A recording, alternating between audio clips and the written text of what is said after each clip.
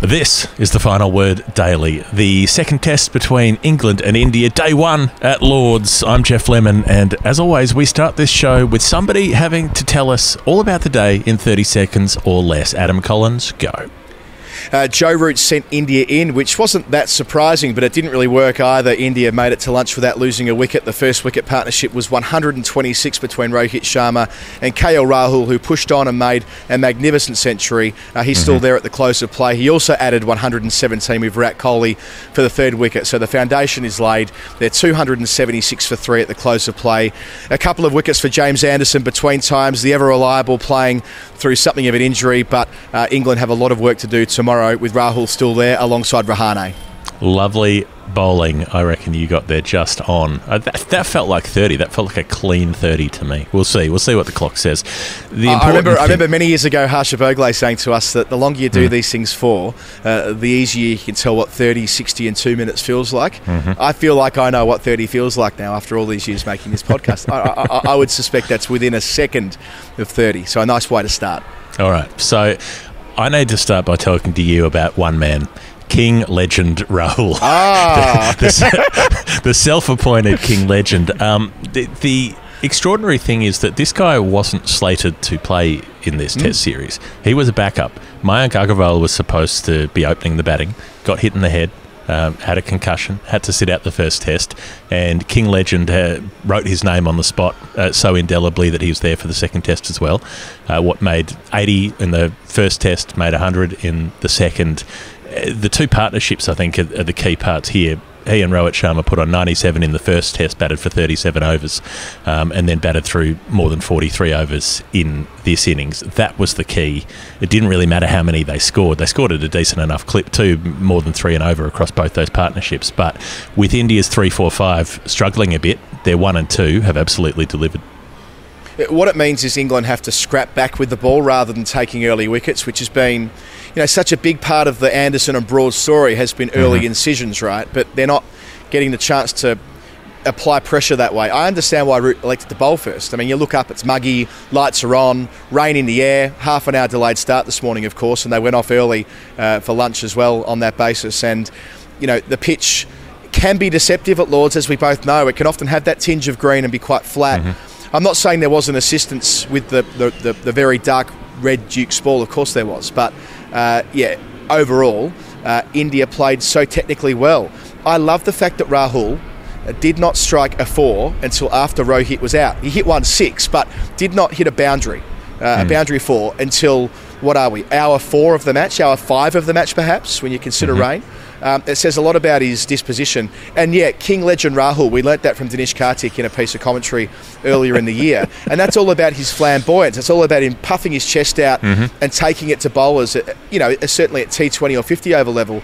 This is a different kind of KL Rahul, playing late, playing with soft hands, mm-hmm. um, steering through backward point time and time again, accumulation.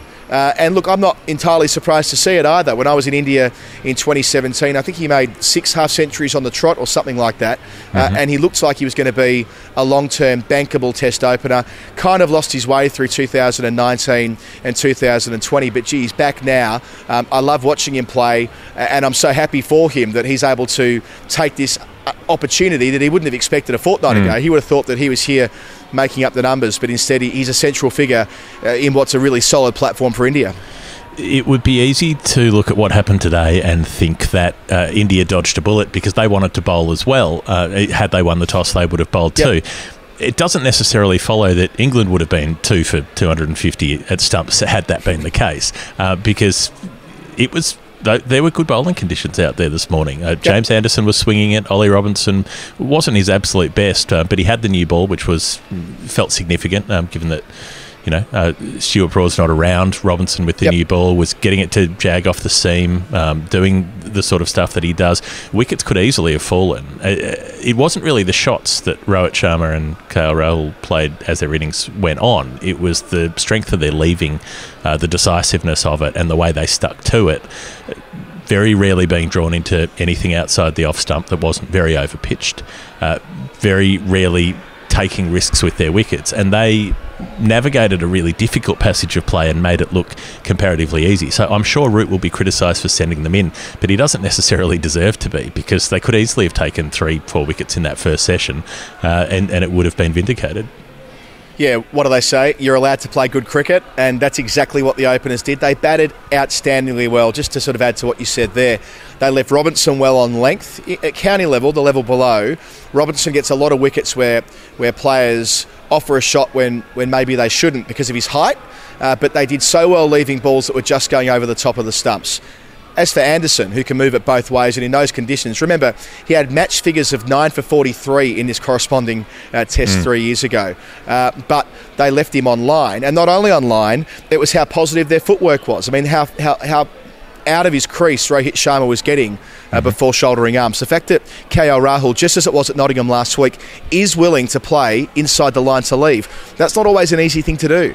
Uh, mm-hmm. it can get in your head after a while, but he wasn't playing a missing. He was decidedly pulling inside of the line. So I thought that was exceptional. Uh, and like later in the day as well, when things got a bit tough, Anderson takes two wickets. He, you know, knocks over Rohit Sharma for 83. Mm-hmm.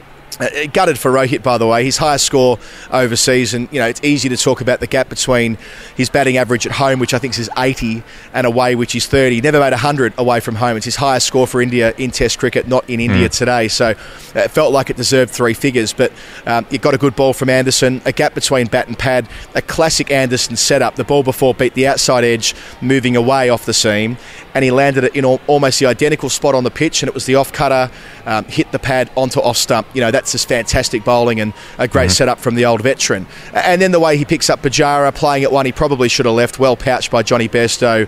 I think it was at third slip, wasn't it? So mm-hmm. at that point, Kohli's under pressure, but it was good game management. KL Rahul absorbed so many deliveries from Anderson in that stretch either side of tea that I'm pretty sure I'm right in saying that Anderson only bowled two deliveries at Virat Kohli mm-hmm. in their entire stoush, uh, and until later on. So, and that's good game awareness from KL Rahul realizing that he's the in man and, mm-hmm. and to manage the ends, making sure that they get to the end of the Anderson spell without the captain being overly exposed to a guy who has had success against him yep. as recently as last week. I think it was all about management um, in in the way that the opening pair went about everything from the beginning.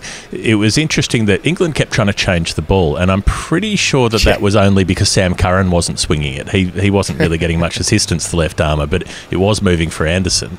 It, felt notable to me that uh, all of the boundaries that Rohit Sharma picked up through the, the first 33 overs, it was. Every boundary came through fine leg, just about. There was one over where Curran uh, bowled a few loose balls, and suddenly Rohit Sharma peeled off four boundaries and took 16 runs from the over. But aside from that, everything was either leg glance, it was pulled down to fine leg, uh, an inside edge down to fine leg.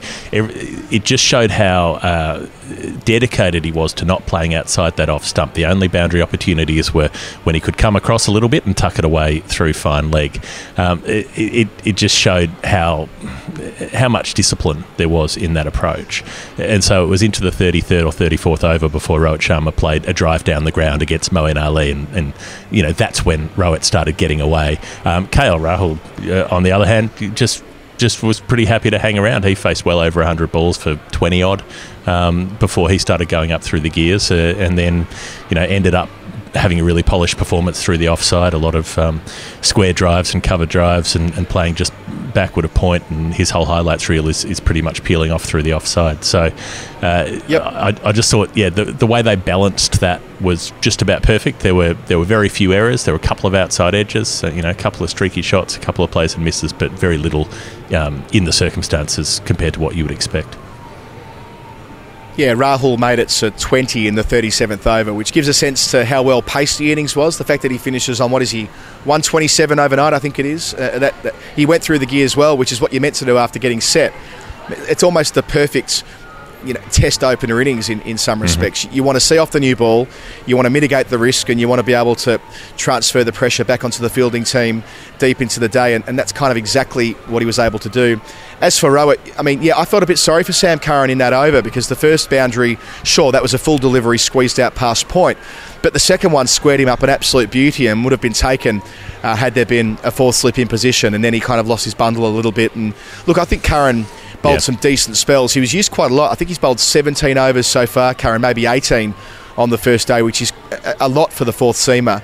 Um, and that's mm-hmm. partly owing to the fact that Mark Wood, who bowled quick, he bowled quickly today, Mark Wood, and I thought he mm. bowled some really good spells as well. But you need to acknowledge that Wood can't bowl 20 overs in a day. I think he sent down maybe 12 or 13 today, and that's about his max. And a lot of those overs were bowling with two or three men out on a different sort of day. Uh, mm. Take, for example, the second day against New Zealand at Lords uh, earlier this year in June. He, he, gets a couple of wickets bowling that fierce short stuff. Just didn't quite come off today. He'll, he'll get his chance again tomorrow, though, yep.